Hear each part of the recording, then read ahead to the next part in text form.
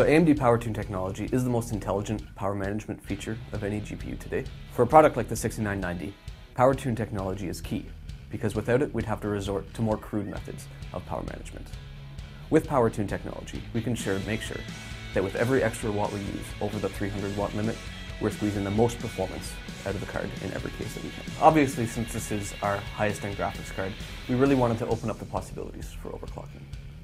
One of the ways we've done this is we've included two default settings that users can change with a little switch on the board.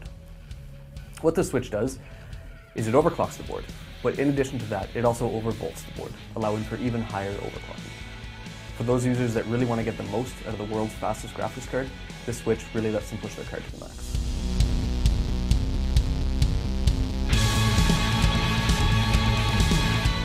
Well, Eyefinity is obviously a really exciting technology. There's been exciting kind of leaps in technology, such as when we went from like one GPU to two GPUs or more that you can put in a system. With Eyefinity, you're able to finally open that up and get a completely new kind of gaming experience. With uh, the ability to support up to five displays out of a single uh, GPU, like we can do with the, uh, the HD 6990. For example, a 5 by one Eyefinity setup with five 1080p displays gives you approximately 10 megapixels um, of graphics power.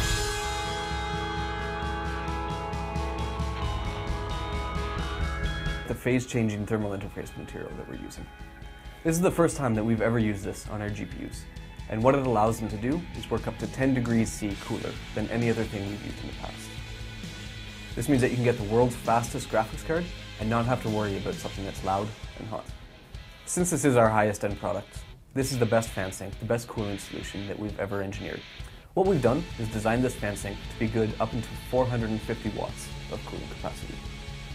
Now, just like the thermal interface material that I talked about before, this is one more way that we can keep this card nice and cool and quiet in both idle and gaming situations.